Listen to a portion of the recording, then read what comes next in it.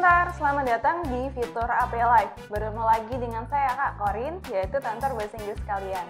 Nah, sobat, kali ini kita langsung aja yuk bahas satu persatu TO UTBK 2021 dari Aku Pintar berikut ini.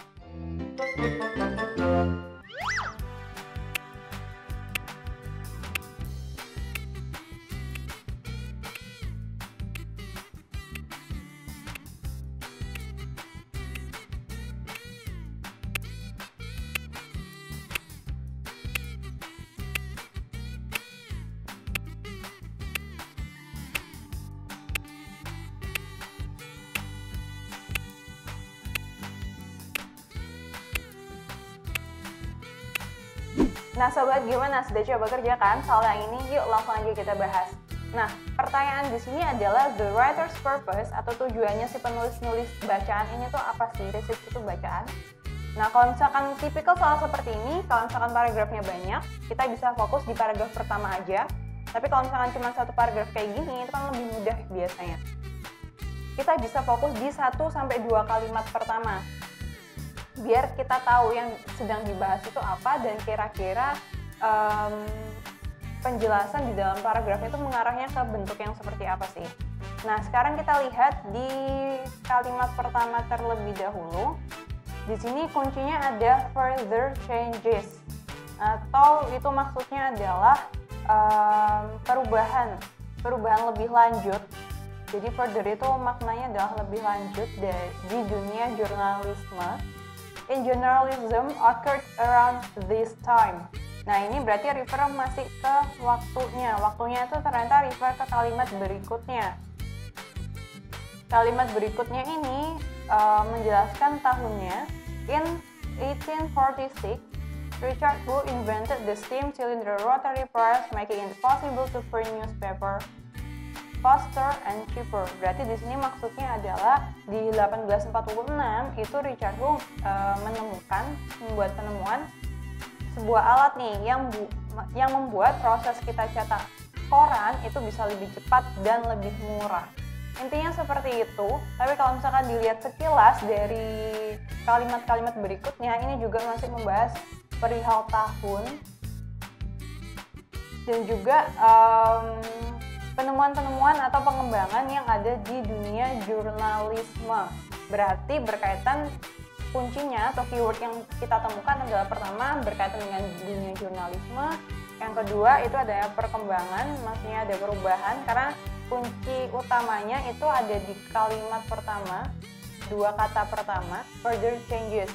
Berarti ada perubahan lebih lanjut, berarti di paragraf sebelumnya juga akan membahas uh, tipikal tentang perubahan tapi ini dilihatnya tuh dari timeline atau garis waktu gitu. Nah kalau misalkan dilihat sekilas yang masih ada beberapa keyword itu itu ada di opsi jawaban B. Pertama di sini ada several developments. Selanjutnya juga disebutkan mid 19th. Jadi kalau 1846 itu kan masuk ke abad 19 19 ke 19, mid itu maksudnya pertengahan karena di sini 46 mendekati ke angka 50 kan. Nah, itu kan berarti pertengahan abad 19 di dunia jurnalisme. Nah, berarti di sini ini masih bisa kita simpan terlebih dahulu opsi jawabannya yang pasti mengarah. Nah, kalau untuk opsi jawaban yang lain untuk um, kurang tepatnya di mana sih?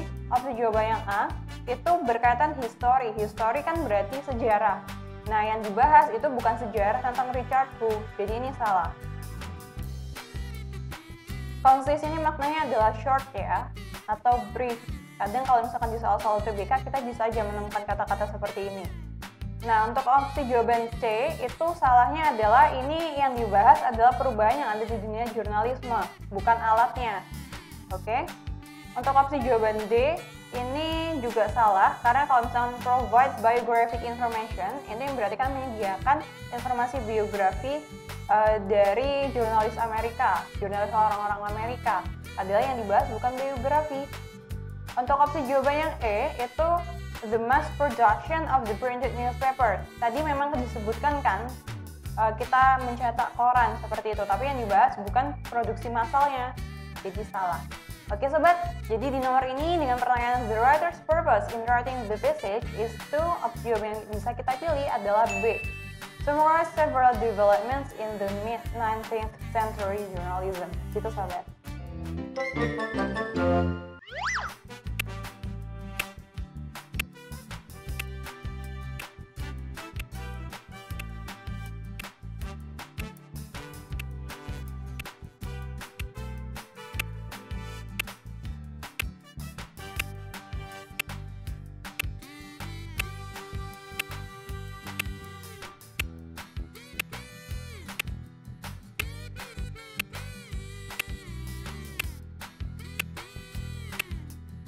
Nah, sobat gimana? Sudah coba kerjakan soal yang ini? Yuk langsung aja kita bahas bareng ya. Nah, kalau di nomor ini pertanyaannya adalah what does the word record in the passage probably mean? Intinya yang ditanya makna dari record di dalam bacaan itu apa sih? Nah, sekarang kita coba baca dulu di dalam kalimatnya. Although newspapers continue to cover politics, they came to report more human interest stories and to record the most recent news which they could not have done before the telegraph. Nah, intinya kalau misalkan dari yang bagian ini untuk record the most recent news. Nah, record sendiri itu maknanya bisa merekam pada umumnya kita tahunya merekam gitu kan, merekam video seperti itu. Nah, tapi juga di dalam konteks yang lain itu juga bisa bermakna mencatat. Merekam, mencatat sejarah seperti itu maksudnya. Nah, sekarang kita coba cocokkan di definisi opsi jawabannya. Di opsi jawabannya A, to produce something in written form so that people can read. Nah, ini bisa rada menjebak. Nah, karena kuncinya ada di kalimat kerjanya di sini, to produce something. Nah, kalau misalkan yang record sendiri itu kan merekam ya, sama mencatat, bukan kayak memproduksi hal baru kayak gitu. Jadi kalau misalkan untuk opsi jawaban A, ini lebih ke definisi uh, kalau misalkan kita menulis seperti itu, bukan merekam. Nah, kalau di opsi jawaban B, to keep a permanent account of facts or events by writing them down. Nah, kalau misalkan ini um, untuk istilah untuk menyimpan sebuah fakta atau kejadian dengan mencatatnya. Nah, ini lebih ke arah makna yang kedua dari record. Bisa kita simpan terlebih dahulu. Sedangkan dia e, menyimpan sebuah fakta sama kejadian terus secara e, dengan menuliskannya seperti itu. Kalau misalkan nanti jawaban C, to compose something for return or printed publication. Sama tadi mirip ke opsi jawaban A, memproduksi. Jadi sini uh, agak kurang tepat. Untuk opsi jawaban D, to express something definitely or clearly in writing. Nah, to express ini sudah berbeda dari kata kerja maknanya to record, merekam atau mencatat. Selanjutnya, untuk opsi jawaban E, to make an idea clear to someone revealing relevant facts or ideas. To make an idea clear, ini maksudnya seperti ke arah menjelaskan jadi kalau misalkan di sini eh, nggak uh, mengarah ke makna merekam atau mencatat, jadi bisa kita coret. Jadi di nomor ini dengan pertanyaan what does the word record in the passage probably mean? Opsi jawaban yang paling sesuai adalah opsi jawaban yang B. To keep a permanent account of facts or events by writing them down atau makna ke mencatat. Gitu saja.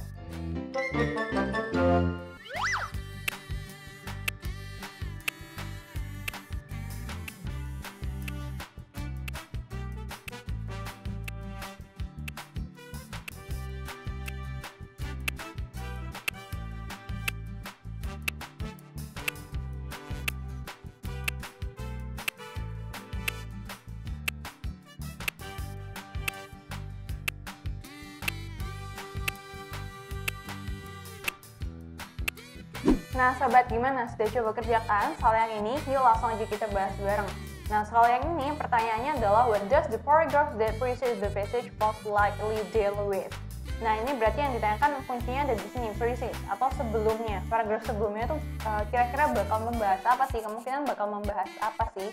Nah, sekarang kita langsung um, coba mengingat lagi kalau misalkan di paragraf ini itu intinya adalah membahas tentang perubahan lebih lanjut dunia jurnalisme yang dimulai di pembahasan di paragraf ini ya itu dimulai di tahun 1846 nah sekarang kita langsung coba cocokkan di opsi jawaban. Di opsi jawaban A other developments in journalism. Kalau misalkan other ini lebih cocok kalau misalkan uh, pertanyaannya itu adalah paragraf yang following. Jadi paragraf yang mengikuti paragraf itu jadi paragraf setelahnya. Nah, untuk opsi jawaban B, alternative types in journalism. Nah, tadi pembahasannya sama sekali nggak ada mengarah ke tipe-tipe yang ada di jurnalisme, apalagi alternatifnya. Jadi untuk opsi jawaban B itu sudah jelas bisa kita eliminasi. Untuk opsi jawaban C, other ways to the use of wire service. Nah, di sini wire service, kalau sobat pintar udah terlanjur membaca keseluruhan bacaan, memang um, Dua kata ini memang disebutkan di dalam teks ada di sini. Nah, akan tetapi uh, pembahasan yang lebih sesuai itu bukan ke arah service. Ini kan sebelumnya ya soalnya. Dan pembahasan utamanya kan nggak mengarah ke alatnya itu seperti apa, terus bagaimana penggunaannya. Jadi bukan opsi jawaban yang C. Opsi jawaban D, the concentration on politics in newspapers. Nah, kalau misalkan yang ini, ini masih bisa kita simpan terlebih dahulu karena di sini kita menemukan clue ada di kalimat yang ini. Although newspapers continue to cover politics, they came to report more human interest stories and to record the most recent news. Nah, kalau misalkan di sini maknanya berarti walaupun koran itu masih melanjutkan nih untuk membahas tentang politik, tapi mereka itu um, yang hal barunya tuh bisa nge-report atau melaporkan banyak uh, cerita perihal tentang manusia dan juga merekam atau mencatat berita-berita yang terbaru. Nah, kalau misalkan dilihat dari sini, berarti kuncinya adalah di zaman sebelumnya, di perkembangan sebelumnya, berarti newspapers itu dia fokusnya di politik, politik aja, seperti itu. Nah, ini bisa kita simpan terlebih dahulu untuk opsi jawaban D. Nah, sekarang di opsi jawaban E, the previous achievements of Richard II before his recent invention. Nah, kalau misalkan pembahasan yang ini, ini kan sebelumnya di kalimat yang awal itu uh, dua kalimat awal itu memang membahas tentang Richard Hu. Akan tetapi di situ Richard Hu kan masih baru dibahas dan nggak mungkin paragraf sebelumnya itu malah membahas inventionnya kalau misalkan paragraf sebelumnya sudah membahas inventionnya, seharusnya paragraf yang ini yang ada di sini itu eh, nggak uh, lagi memperkenalkan, tapi lebih membahas lebih lanjut tentang inventionnya atau penemuannya. Jadi untuk opsi jawaban I ini kurang tepat. Jadi di nomor ini dengan pertanyaan what does the paragraph that precede the passage most likely deal with? Paragraf yang sesuai yang sebelumnya itu lebih sesuai pembahasannya jika mengarah ke konsentrasi politik yang ada di koran gitu sobat. Nah sobat, itu tadi beberapa pembahasan TOUTBK 2021 dari Aku Pintar bersama Kak Korin. Semoga apa yang kakak sampaikan dapat kalian pahami dengan baik dan juga berguna nih untuk proses belajar mandiri kalian. Nah, jangan lupa nih tonton untuk episode berikutnya di AP Live. Belajar pintar bersama Aku Pintar. Sampai jumpa!